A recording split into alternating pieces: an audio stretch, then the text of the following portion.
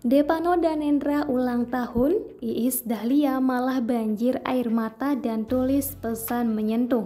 Sebelum melanjutkan video ini, pastikan kamu sudah subscribe YouTube channel Grid.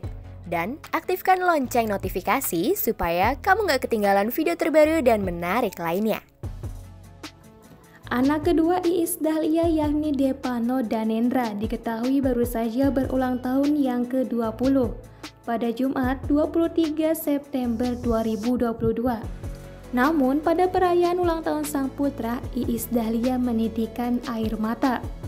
Dikutip dari Tribun Style pada Sabtu 24 September 2022, saat ditemui di kawasan Kemang, Jakarta Selatan, Iis Dahlia mengaku teringat pada sosok kakek Devano. Menurutnya, sang ayah selalu ada di momen saat putranya berulang tahun. Namun, kini sang ayah telah meninggal dunia dan tak bisa menyaksikan cucunya bertambah usia. Kemudian, sang biduan tersebut kembali mengenang kebersamaan bersama ayahnya.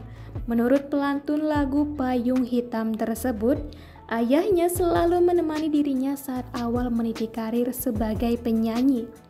Diketahui jika perayaan ulang tahun Depano tersebut bertepatan dengan rilisnya single terbaru milik Depano, yang berjudul Hari Paling Bahagia. Iis Dahlia pun kemudian membagikan momen tersebut dalam akun Instagramnya. Dalam momen ulang tahun, Iis Dahlia juga membagikan potongan momen video bersama anak keduanya. Video tersebut diiringi oleh ucapan Iis Dahlia yang memohon doa untuk Devano. Iis Dahlia mendoakan sang putra agar bisa lebih dewasa dalam berpikir dan bertindak. Selain itu, ia juga berharap Depano bisa melewati rintangan dalam hidupnya dan tak mudah putus asa.